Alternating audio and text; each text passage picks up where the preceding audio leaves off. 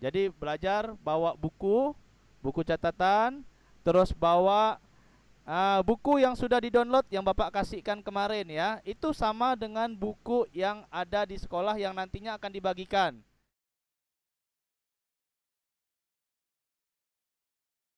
Hari ini kita online lagi, kita daring lagi uh, karena di masa ini di masa pandemi ini nah, kita harus melakukan pembelajaran melalui uh, Microsoft Team. Jadi uh, untuk anak-anakku sekalian dimohon paketnya ada terus ya biar kita selalu bisa berkomunikasi biar tidak ketinggalan pembelajaran.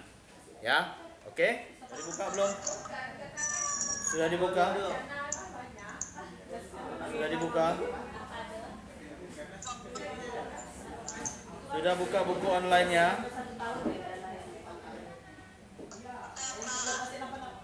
Dah. Ya, sekarang matikan mic-nya.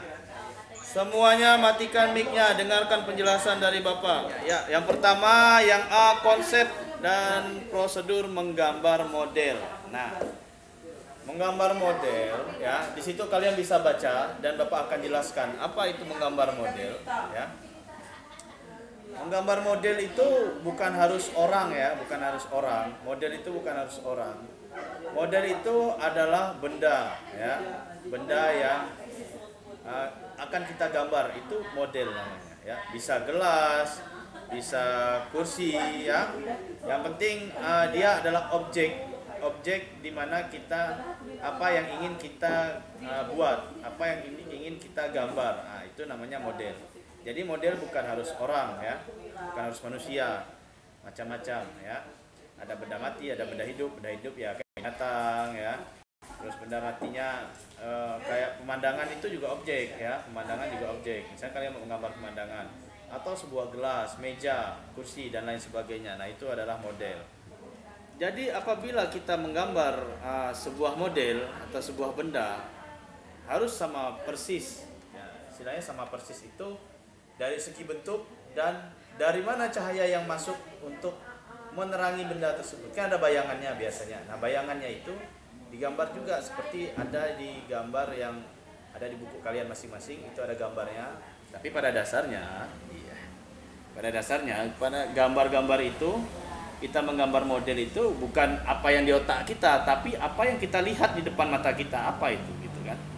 Nah, bukan yang kita bayangkan. Kalau kita bayangkan itu gambar imajinasi namanya. Nah, di sini kita uh, apa nama tuh bukan bukan masalah imajinasi, tetapi kita berbicara tentang bentuk nyata, bentuk real yang ada di hadapan kita. Nah, gitu. Misalnya di hadapan kalian sekarang apa? Handphone atau tablet atau laptop. Nah, itu digambar Bagaimana bentuk laptop? Bagaimana bentuk? Nah, bentuk itu kelihatan dari beberapa sisi, ya. Apabila kalian gambar bentuk handphone dari tampak dari depan macam mana, itu beda dengan kalian menggambar handphone tampak dari samping. Nah, misalnya gitu. Kalau tampak dari depan dia akan kotak, tapi tampak dari samping dia agak uh, apa? Agak melenceng, nah gitu kan. Nah, seperti itulah. Coba kalian tuh, apa yang di hadapan kita itu yang kita gambar, ya. Apa yang di hadapan kita itu yang kita gambar. Nah, itu namanya menggambar bentuk, menggambar model ya. Jadi model itu sekali lagi model itu bukan manusia, bukan hanya manusia, bukan hanya orang model bukan, tetapi model itu adalah objek ya, objek di mana kita uh, di mana kita melihat gambar tersebut, di mana kita melihat apa yang ingin kita bu buat ya. Nah, kembali lagi ke prinsip. Prinsip dalam menggambar, prinsip dalam seni rupa dalam artian di sini menggambar model ya. Ada proses-proses menggambar model memerlukan pengamatan objek yang digambarkan secara baik. Pertama, komposisi ya. Komposisi itu kan urutan ya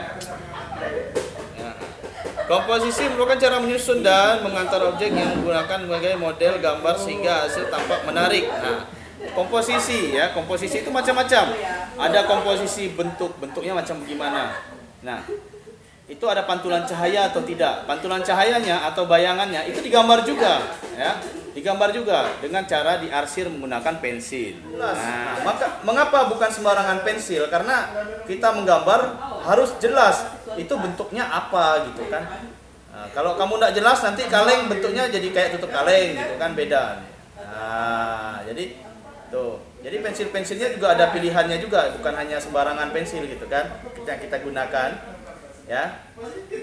Jadi kalau kita mau buat bayangan yang hitam-hitam, nah itu bisa menggunakan pensil 2B kurang hitam lagi pakai pilox ya oh enggak ya nah itu itu tadi ya nah selanjutnya itu tadi adalah prinsip komposisinya ya nah jadi komposisinya ya di mana benda tersebut misalnya terletak di meja misalnya kayak yang di hadapan kalian apa handphone misalnya letaknya di meja mejanya itu digambar juga Nah, mejanya itu digambar juga. Kalau mejanya tidak kamu gambar, berarti HP itu melayang, kan? Wah, aneh jadinya kan? Nah, jadi gambar model ini harus sesuai dengan realita. Ya, ya, dengan realita apa yang kamu lihat. Bukan apa yang kamu pikirkan ya. Kalau kamu pikirkan itu berarti imajinasi namanya, ya. Setelah pembelajaran ini, ya, setelah pembelajaran ini,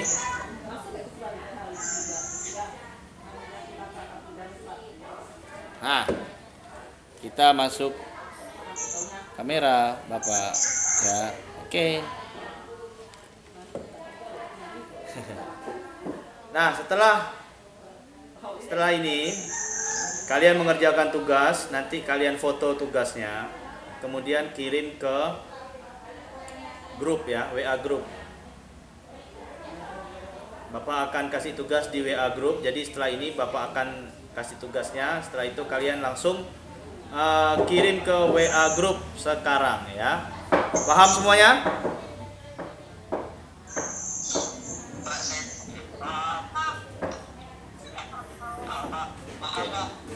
Ya.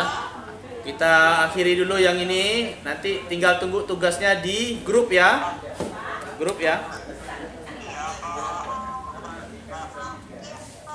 Oke. Okay. uh, jadi selesai ini langsung Bapak kasih tugas, langsung kalian kerjakan, langsung kalian kirim ya, paham ya? Kita tetap terus menjaga kesehatan, jangan lupa sering-sering minum air putih, jangan keluar kalau tidak penting, kalaupun keluar menggunakan masker ya. Ya, tetap sehat, tetap sehat, tetap semangat. Walaupun kita jarak jauh, tapi tetap semangat, tetap belajar terus supaya kita bisa bertemu nanti uh, di pembelajaran selanjutnya ya. Sebelum mengakhiri pembelajaran ini, marilah kita berdoa menurut agama dan kepercayaan kita masing-masing. Berdoa mulai.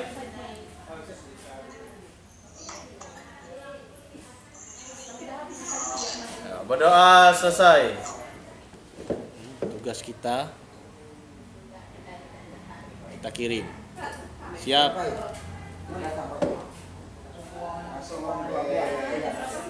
You.